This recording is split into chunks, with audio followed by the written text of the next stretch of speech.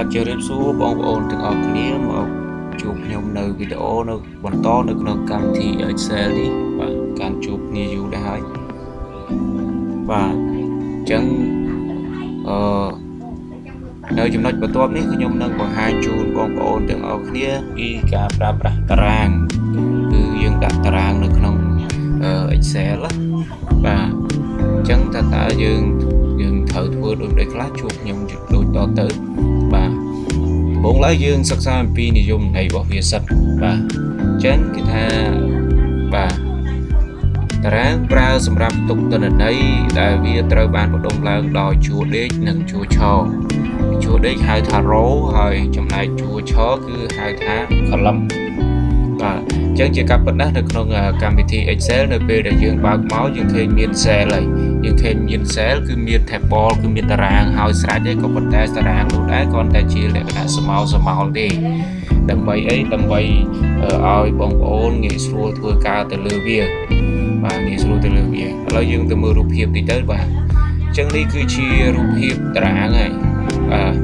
គឺជារូបភាពតារាងដែលបងប្អូនទាំងអស់គ្នាឃើញស្រាប់អីក៏ប៉ុន្តែតារាងនេះយើងអត់តន់យកទៅប្រើប្រាស់ជាផ្លូវការបាននៅឡើយទេ គឺវាគ្រាន់តែជាលក្ខណៈ sample ឲ្យបងប្អូនទាំងអស់គ្នាធ្វើការធ្វើកិច្ចការទៅលើវាតែប៉ុណ្ណោះបាទអញ្ចឹងនេះដែលខ្ញុំបាននិយាយមិញនេះគឺគេហៅថានេះនេះជួរដេកជួរដេកគឺរោរោមានលេខ1រហូតទៅអស់ដល់កន្ទង់សែនបាទដល់បើ column វាមានអក្សរពី A រហូតដល់ XSD បាទ XSD បាទអញ្ចឹងគេហៅថាជួឆអញ្ចឹងនៅក្នុងហ្នឹងវាមានច្រើនរាប់អត់អស់ទេតែក៏ប៉ុន្តែគេត្រូវមានការកំណត់ដូចតែមេរៀនមុនមុនហ្នឹងខ្ញុំបានកំណត់បង្ហាញជូនបងប្អូនទាំងអស់គ្នាហើយគឺយើងមិនមែនថាអាងតែមានកឡោតចេះតែវាយទៅរហូតទេ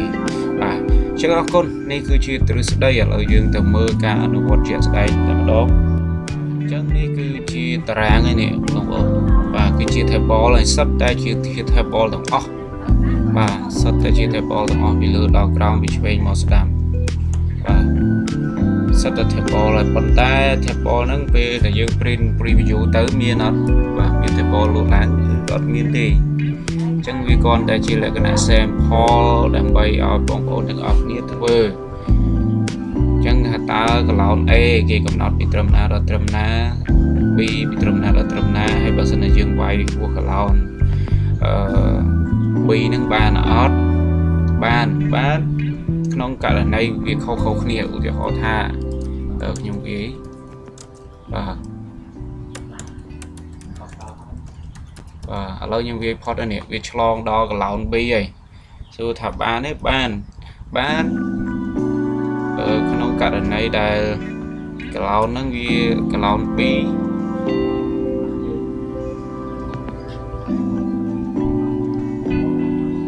នុងករណីកឡោន2ហ្នឹង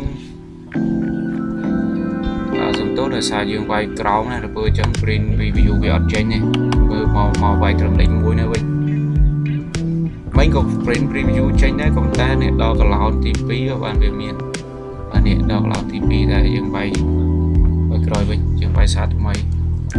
បាទបាទអញ្ចឹងលឹង review ម្ដងទៀតបាទអញ្ចឹងគេញ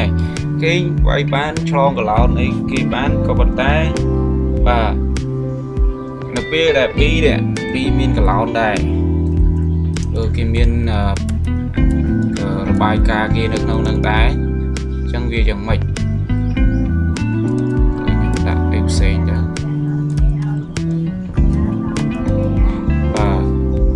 នេះបាទឥឡូវនេះឃើញទេអញ្ចឹងវាប៉ះពាល់អញ្ចឹង ប៉ះពាល់នៅពេលដែលកាលណាកឡោន B វាមានតនន័យដែរគឺវាបាត់ហើយអញ្ចឹងបាត់យ៉ាងម៉េចទៀតបាទបាត់យ៉ាងម៉េចទៀតដើម្បីកុំឲ្យបាត់យើងមានវិធីផ្សេងផ្សេងនៅខាងមុខទៀតអញ្ចឹង